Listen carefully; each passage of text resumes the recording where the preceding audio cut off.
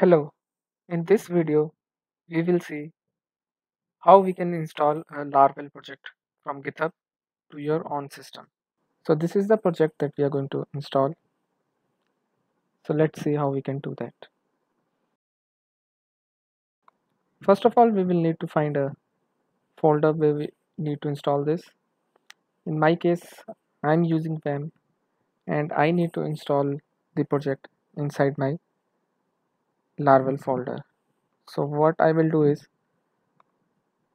I will first of all do a git bash into this folder.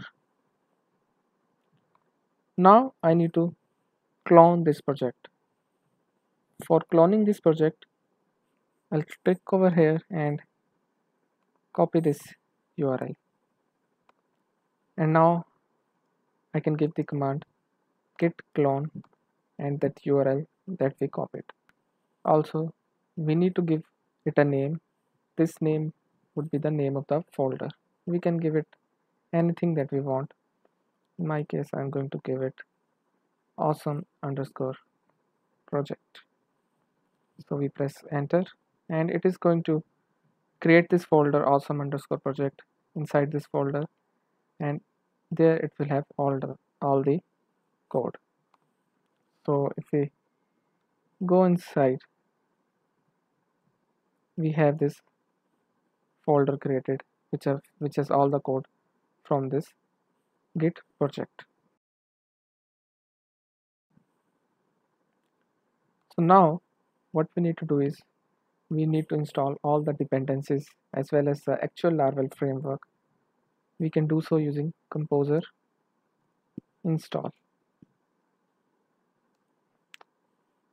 we press enter and it will install all the dependencies of this project based upon this composer.json file. Now that composer has finished installing all the dependencies, we need to do the same for npm packages as well.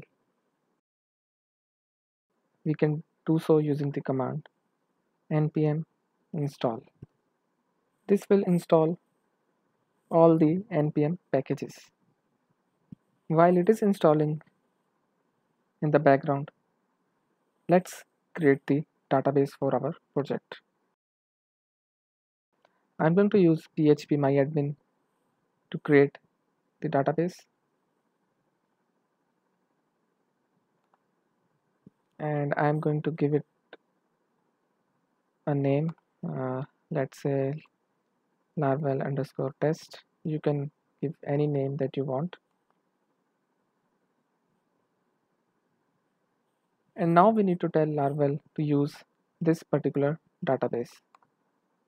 Well I'm going to go inside and I'm going to open this project using Visual Studio Code. You can use any editor that you want. Meanwhile you can see our npm install has finished running so first of all what we need to do is we see that we do not have this env file in our laravel folder where we will specify the database connection. So what we are going to do is we are going to create a copy of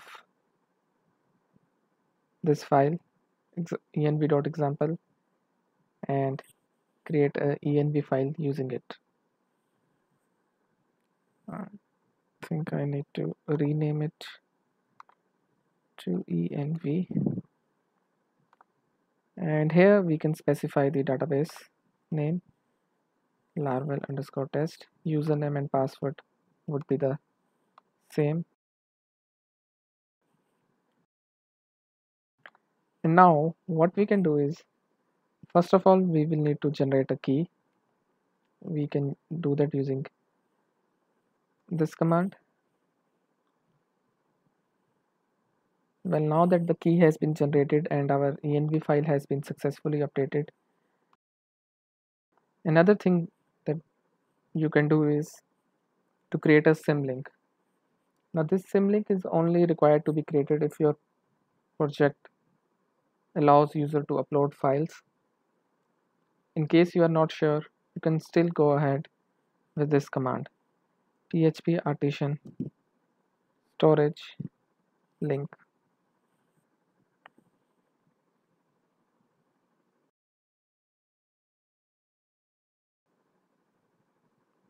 Now we are finally ready to run all the migrations and create the database schema for our project.